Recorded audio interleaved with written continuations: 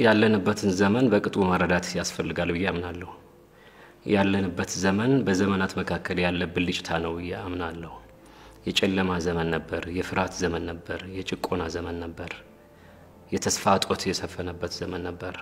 አሁን ወደ ተስፋ ሙላት ልንሸጋገር መሀል ላይ እንገኛለን። አሁን ከጨለማ ብርሃንን መምረጥ አለብን። ከጥላቻ ፍቅርን መምረጥ አለብን። ከመገዳደል መከባበርን መምረጥ አለብን። መዋደድን መምረጥ አለብን።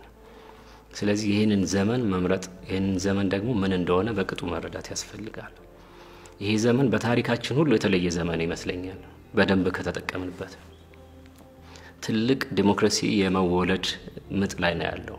ዲሞክራሲን ልናዋልድ እድሉ እጃችን ላይ ያለ ይመስለኛል።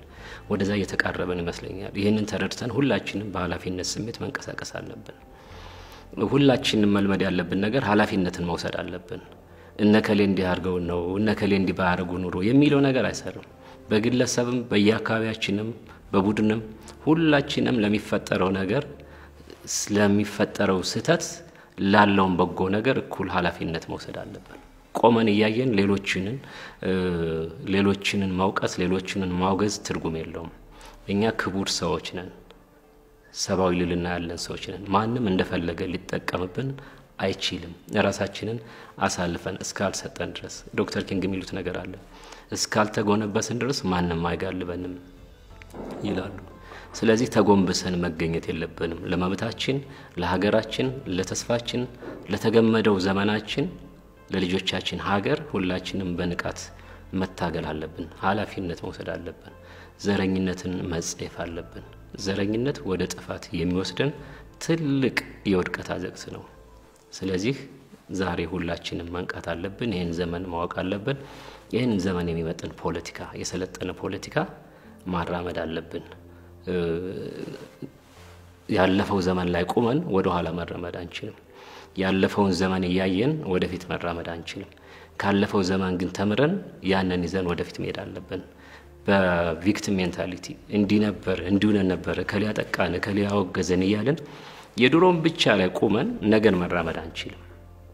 ለዛም ነው በአንድ በኩል ወደ ኋላ የቀረ ነው። የዓለም ጭራ የሚሆን ነው ወደፊት መመልከት ወደፊት መራመድ ስላልቻልን ነው። ስለዚህ የቂም በቀል የጥላቻን ድሮች እግራችንን ያሰሩን ድሮች በጣጥሰን ወደፊት ለመራመድ ሁላችንም መዘጋጀት አለብን። በፍቅር ህልማችንን ሁሉ እውን ማድረግ ይቻላል። በኢትዮጵያዊነት ውስጥ የምናጣው ነገር የለም። ኢትዮጵያዊነት ማናችንም አያከስረንም። አንድነት ማናችንም አያከስረንም። ወንድማማችነት ማናችንንም አያከስረንም።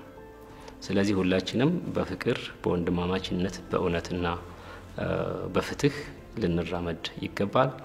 እኛ ታግለን ጠንክረን እስከታገልን ድረስ ህልማችን ቅርብ ነው። ባልታገልን ቁጥር ደግሞ ህልማችን ይርቃል። ስለዚህ ህልም ህልማችን ራያችን ሩቅ የተሰቀለ ዳቦ አይደለም። እስከታገልን ድረስ በቅርብ የምንጨብጠው እውነት ነው። ኢትዮጵያን የዴሞክራሲ ምድር ለማድረግ ለማዋለድ እድሉ እጃችን ላለ በአግባቡ እንጠቀምበት።